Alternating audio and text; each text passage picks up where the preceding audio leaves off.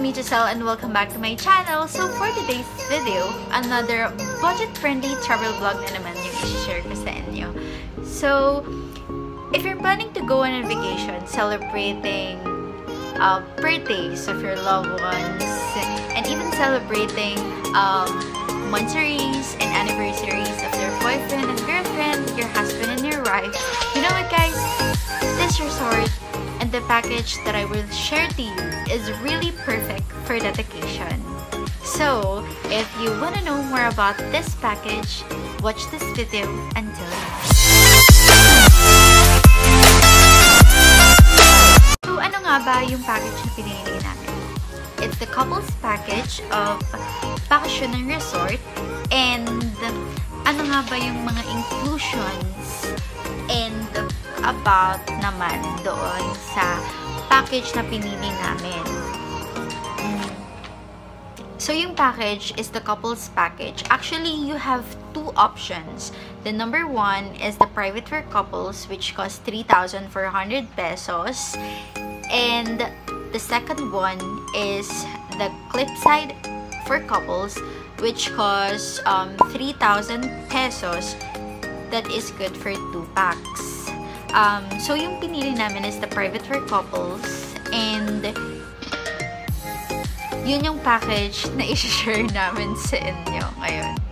Yung may inclusions ng package is the um, entrance fee, swimming pool access, and room accommodation, private room for two packs yun. And then, you know what, ito yung pinakang gustong-gusto ko sa lahat ng inclusions ng package. Kasi kasama na dito yung free lunch, dinner, and then the breakfast.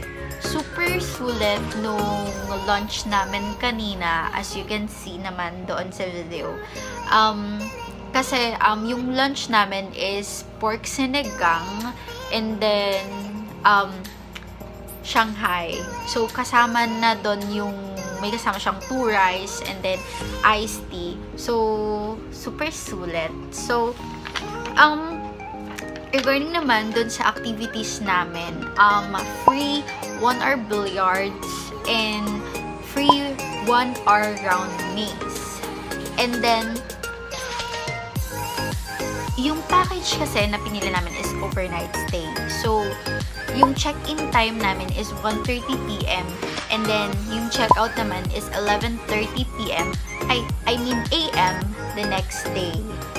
And then, regarding din sa payment ng package, at least 50% down payment yung ibabayad nyo bago kayo sendan ng um, ng bakasyon na ng booking confirmation. So, syempre, email nyo muna sa kanila yung proof of payment bago nila kayo um, senda ng booking confirmation. And then, yun yung ipapakita nyo sa receptionist um, para malaman nila yung, kung may reservation ba kayo or wala. So, wag nyong iwawala yon kasi kailangan nyo siyang dalhin. And then, yung Xerox ng um, deposit slip na proof of payment na nagbayad kayo nung 50% down payment. And then,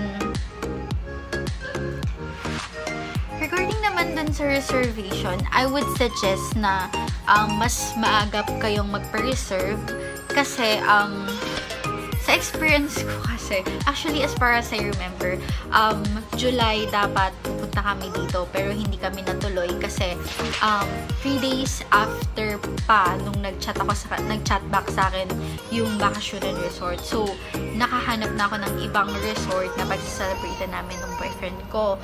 So, isa-suggest ko din sa inyo na um, tumawag muna kayo sa kanila kasi yung sa ngayon, yung pangalawa kong reservation, pagpapareserve sa kanila, um, mas inassist nila ako kasi tinawagan ko muna sila. So, um, yun pala yung much better na gawin kasi um, mas inassist nila ako nung tumawag ako sa kanila.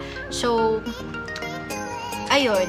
Um, so, well, anyway, sinashare ko lang naman sa inyo yung naging experience ko. But, um, yung naging experience naman namin dito simula nung dumating kami. And sana, until tomorrow, um, maging maayos pa din yung yung may experience namin dito. Kasi, um, yung accommodation naman, super ganda naman nung room. Ayan so papakita ko sa inyo. Maganda naman yung room. Ayan. So, may aircon siya. Sariling CR, may TV din. So, 'di ba? Nakaka-relax yung place, nakaka-relax and then yung room. So, okay na okay siya. And then ano pa ba? Um um very accommodating din yung mga staffs nila. So, um, talagang i-assess ka nila ng bonggang-bongga. So, ayun, two thumbs up for that.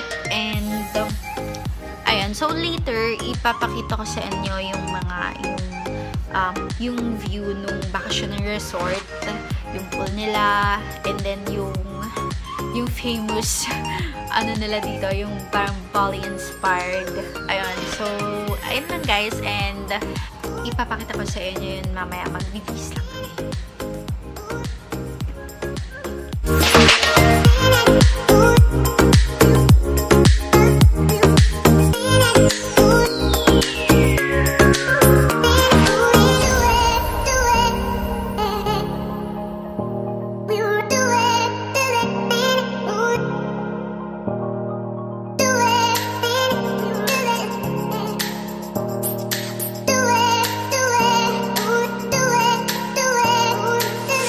Música